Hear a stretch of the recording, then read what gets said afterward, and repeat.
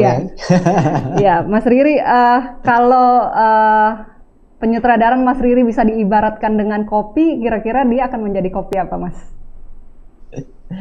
Sebenarnya saya paling saya paling suka itu kopi gayo sebenarnya. Gayo. Karena kopi gayo itu mungkin karena daerah yang sangat uh, ketinggian dan punya budaya yang sangat lama kopi ditanam di sana udah sekian lama jadi tanahnya itu menghasilkan kopi yang sangat konsisten dan rasanya lebih bold ya kopi arabica yang lebih cocok dibikin kayak kopi yang lebih bold gitu. Tapi yang penting sih buat saya sebenarnya kopi itu itu kayak gitu narasinya gitu. Jadi bagaimana Gayo itu adalah sebuah tempat yang punya sejarah yang sangat panjang, tempat yang sangat indah.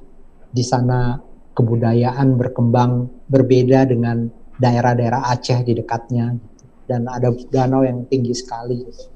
Pak Melalatoa bapaknya Bang uh, Winalda seorang DOP dan senior di KJ berasal dari situ seorang akademik yang sangat luar biasa menulis sangat bagus gitu.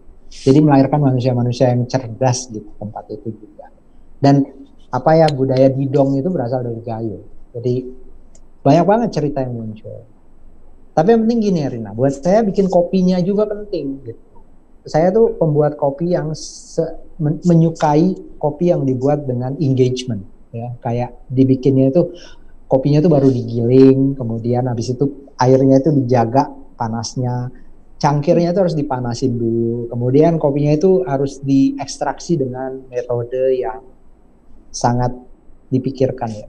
Sama seperti bikin film jadinya untuk menghasilkan film yang baik kita harus bekerja dengan tahapan-tahapan yang benar dengan disiplin, komitmen dan kecintaan gitu terhadap terhadap apa yang kita lakukan.